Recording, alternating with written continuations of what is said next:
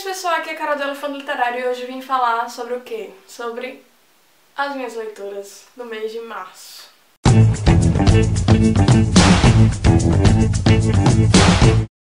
Agora eu resolvi fazer de uma nova forma e eu não vou falar os livros em ordem, mas eu vou eleger um como favorito. E no final do vídeo eu vou dizer qual é. Primeiro eu vou falar sobre os dois zines. A gente recebeu da editora Tribo, Marcela Mulher Melhore, Felícia de Souza, Ilustra Lu. Então é um zine super legal. E ó, traços bem bonitos. Conta a história da vida de Marcela, que muitas vezes não se encaixa naquilo que a gente conhece por padrão de beleza, mas ela não tá nem aí, né? Porque a pessoa tem que ser feliz e tem que se sentir bem do jeito que é, né? E isso que importa.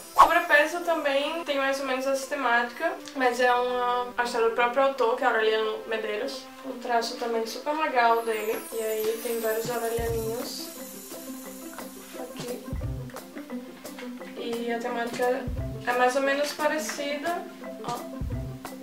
Gente adorou leitura super rápida, né? Porque é fininho, zine e tal. Muito legal. Esse livro já foi mostrado aqui, quarto, conta a história de Jack. E nasceu dentro de um quarto, digamos assim, porque a mãe dele foi raptada e ela é mantida em cárcere privado por um, pelo sequestrador. O livro é narrado pelo próprio Jack, então é um livro muito bonito. Tem uma. Nossa, sério, é um personagem muito bonito, porque ele é muito inocente, ele é não conhecedor do mundo, né? Assim, do nosso mundo. Então é como se o quarto fosse o mundo dele e tudo que ele conhece. O livro foi adaptado para o cinema, o quarto Jack, inclusive concorreu a alguns Oscars. Assim, a leitura é muito boa, talvez tenha eu, eu própria tenha estragado um pouco, porque eu vi o filme primeiro, não aguentei, e aí perdeu um pouco da minha experiência da leitura do livro, mas é um livro muito, muito bonito, de verdade. Eu acho sempre engraçado e sempre muito interessante ver livros que são narrados por crianças, né? É uma visão completamente diferente e muito bonita. vale a pena. Eu não lembro quantas estrelas eu dei, mas recomendo muito a leitura desse livro, de verdade. E depois vocês vejam o filme também. Eu achei uma boa adaptação também. Logo em seguida, e assim que eu recebi esse livro, eu tinha comprado ano passado, eu tava em São Paulo, e aí assim que eu recebi eu já dei uma lida porque eu fiquei apaixonada por esse filme. Quem ainda não viu, por favor, veja, de verdade. Ele não é simplesmente uma história, novamente, do Pequeno Príncipe, mas conta a história dessa menininha aqui que conhece esse vizinho. A vida dela é completamente metódica pela mãe dela, ela é meio paranoica, e aí conhece esse senhorzinho que apresenta a história do Pequeno Príncipe ela. Então, a ligação da história dela com o Pequeno Príncipe é essa. E é muito bonito. Esse livro é bem curtinho, os textos ficam aqui embaixo. E é justamente um resumo, digamos assim, do filme. Tem algumas cenas também. Mas assim, eu recomendo o filme porque é muito bonito. Eu chorei horrores, inclusive. porque é muito muito bonito. Outro livro que eu li esse mês foi, finalmente, Orgulho e Preconceito. Eu trouxe esse livro aqui só pra ilustrar, porque eu fui tentar lê-lo e eu não consegui por motivos de diagramação. É muito ruim. Depois desse livro eu descobri que eu não sou muito fã de livros pocket.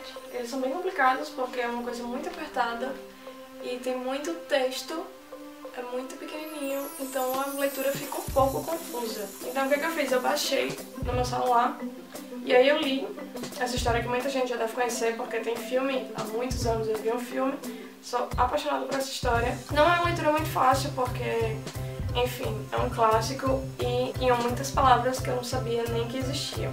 Não vou mentir aqui, não vou mentir, mas Conta a história de Elizabeth. Era numa época que ela precisava casar, ela precisava ter um marido que sustentasse a família e ela não concorda muito com isso. Tem as irmãs dela, que todas pensam diferente dela e elas precisam casar.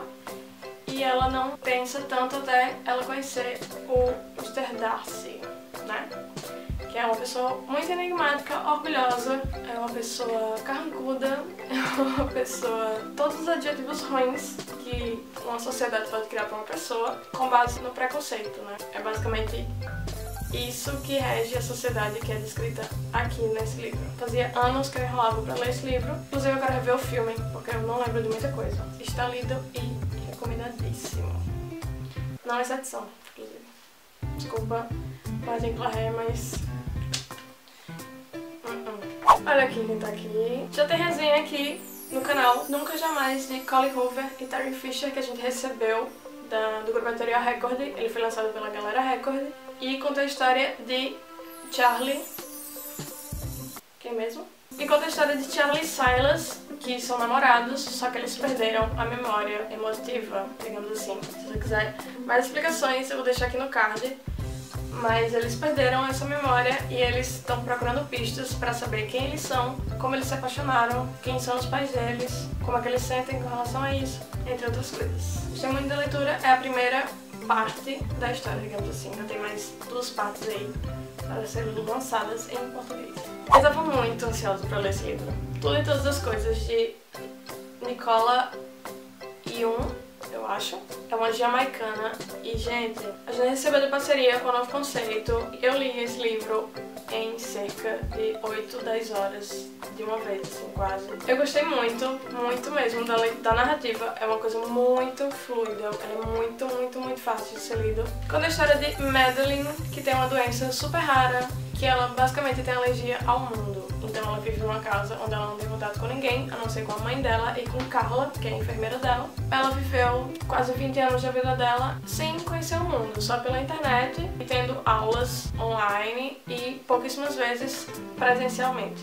Um determinado dia chega uma família vizinha e ela vê Ollie e aí eles acabam se apaixonando. E a história basicamente. Ah, que bonitinho. O relacionamento deles dois. Falar como ela parar pra manter esse relacionamento, já que ela não tem como sair de lá. Muito bom. Por último, o favorito do mês, já tem resenha sobre ele aqui, foi A Cor Púrpura. Esse livro, ele não é um livro bonito.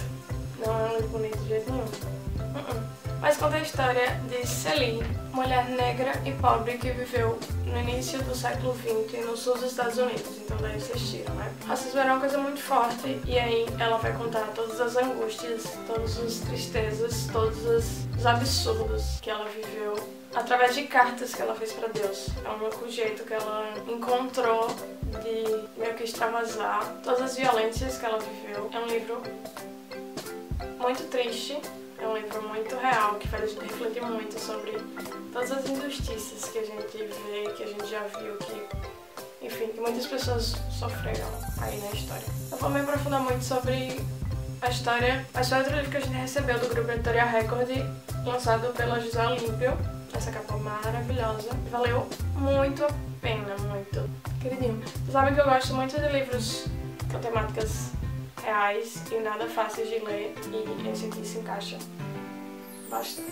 Então é isso galera, essas aqui foram as minhas leituras do mês.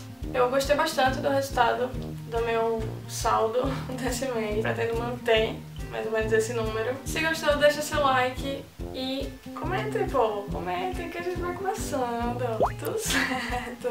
Siga a gente em todas as redes sociais que vão aparecer aqui. Se não for inscrito, por favor, né? Seja bem-vindo, se for o primeiro vídeo, mas se inscreva porque você fica sabendo de tudo que está acontecendo aqui no Foto Literária. Acho que é isso e valeu!